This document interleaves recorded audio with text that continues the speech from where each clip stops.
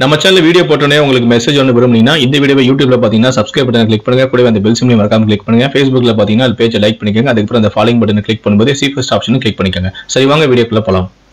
கன்னியாகுமரி மாவட்டம் வெளிச்சந்தை பகுதியை சேர்ந்தவர் தான் வேலுமுருகன் வயது இருபத்தாறு. இவர் நாகர்கோயில் கலெக்டர் அலுவலகத்தில் ஊழியராக பணியாற்றி வருகிறார்.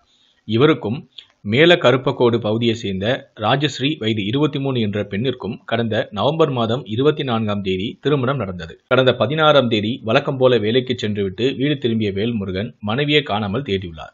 ராஜஸ்ரீக்கு அவர் கட்டிய தாலி மட்டும் வீட்டின் ஓரிடத்தில் கலற்றி வைக்கப்பட்டிருக்க வரதட்சணையாக உறவினர் அளித்த அன்பளிப்பாக வந்த நூறு சவர நகை பத்தாயிரம் ரூபாய் பணம் இரண்டு செல்போன்களுடன் ராஜஸ்ரீ காணாமல் போயிருந்தார். வீட்டில் மனைவியை காணவில்லை. அவர் உறவினர் வீடுகளிலும் தேடி பார்த்தும் ராஜஸ்ரீயை கண்டுபிடிக்க முடியவில்லை. அப்போதுதான் அவரது மொபைல் போனுக்கு ஒரு வாட்ஸ்அப் மெசேஜ் வந்தது. அதில் ராஜஸ்ரீயின் குரலும் ஒலித்தது. உன்னை எனக்கு பிடிக்கவில்லை. எனக்கு விரும்பிய வாழ்வை நான் தேர்ந்தெடுத்துள்ளேன். என்னை யாரும் தேட வேண்டாம் என பேசியிருந்தார். இது குறித்து வேல்முருகன் வெளிச்சந்தை காவல் நிலையத்தில் புகாரளித்தார் போலீசாரும் வழக்கு பதிவு செய்து விசாரணை நடத்தினர். விசாரணையில் இறங்கிய போலீசாருக்கு ராஜஸ்ரீயின் பள்ளி பருவ காதல் விவகாரமும் தெரியவந்தது. அவருடைய பக்கத்து வீட்டைச் சேர்ந்த சந்தோஷ் என்பவரை ராஜரேஷை காதலித்து வந்துள்ளார். வேலை விட்டு எதற்கும் செல்லாமல் ஊர் சுற்றி வந்த சந்தோஷுக்கு கடன் சுமை அதிகரித்ததாக அக்கம் பக்கத்தினரும் கூறியிருக்கிறார்கள்.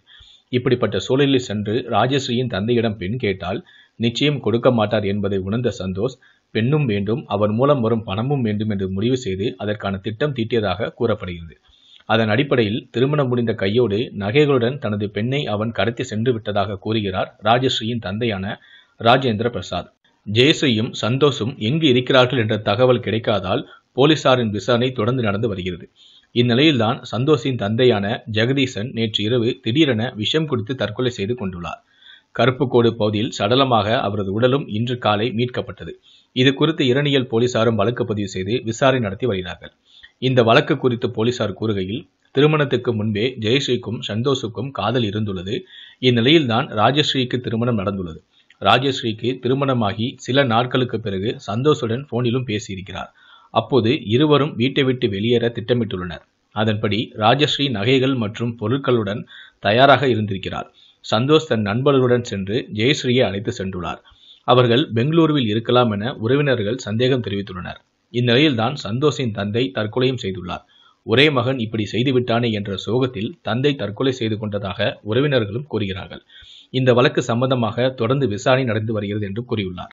மற்றொரு புறம் இவர்களுடைய காதலுக்கு நாடகத்துக்கு தனது வாழ்க்கைதான் பலிகடா என வேதனையுடன் புலம்பிக் கொண்டிருக்கிறார் வேல்முருகன்.